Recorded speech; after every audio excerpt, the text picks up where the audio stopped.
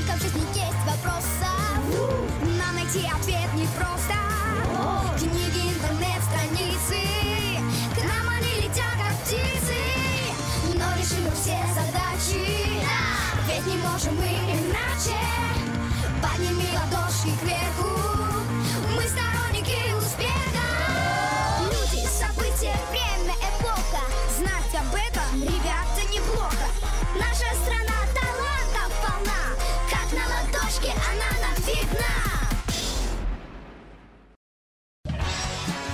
Здравствуйте! На протяжении всей истории нашей страны было много тревожных и славных страниц. Находясь на самом ближнем рубеже между Востоком и Западом, Беларусь не раз находилась в центре ожесточенных битв. Во время Второй мировой войны одним из препятствий на пути неприятелю стала линия Сталина.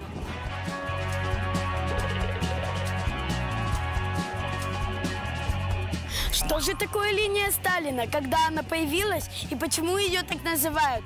Сегодня я попробую в этом разобраться. Линия Сталина – самый известный музейный комплекс Беларуси под открытым небом. Сюда съезжаются люди со всей страны.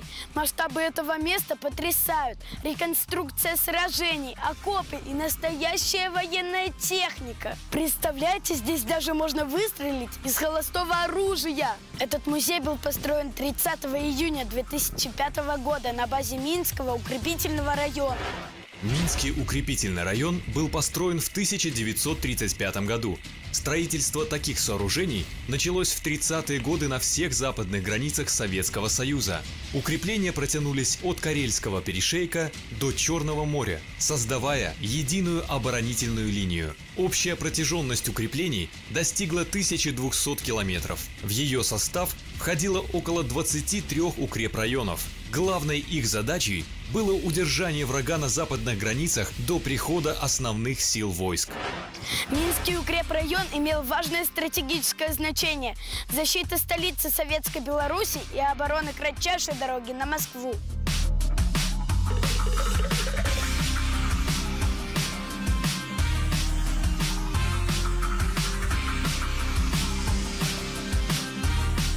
Для успешного отражения врага были построены пулеметные и артиллерийские доты. Их еще называют полукапониры. Полукапонир – это укрепительное сооружение для введения флангового огня в одном направлении. Интересно посмотреть, что там внутри.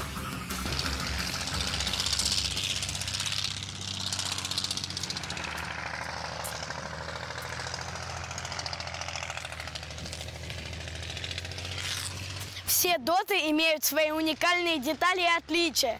Найти два совершенно одинаковых сложно.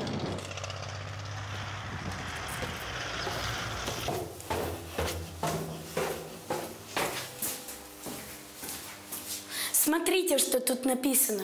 Границы СССР священны и неприкосновенны.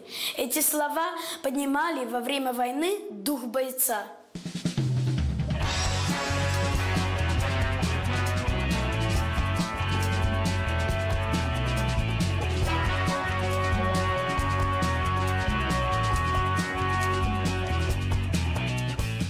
Ничего себе! Это же настоящий пулемет Максим!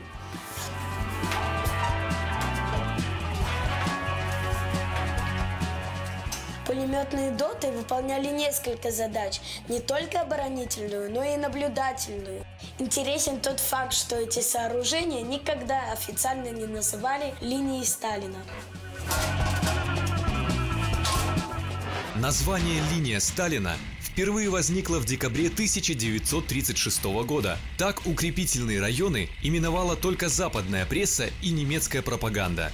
Впоследствии термин «линия Сталина» получил распространение. Строительство укреплений началось в 1928 году и длилось до 1939 года.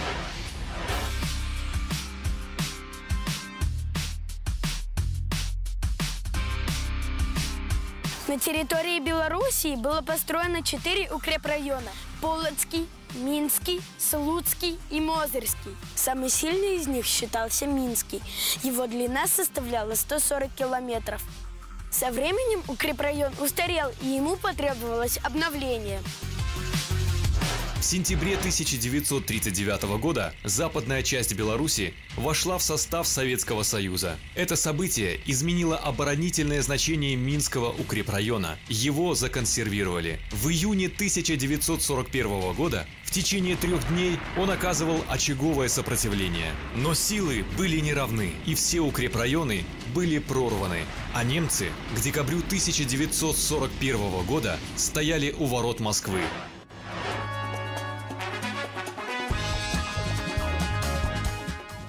Даже те дни, а где-то и месяцы укрепрайоны помогали частям Красной Армии сдерживать врагов и внесли свой вклад в победу.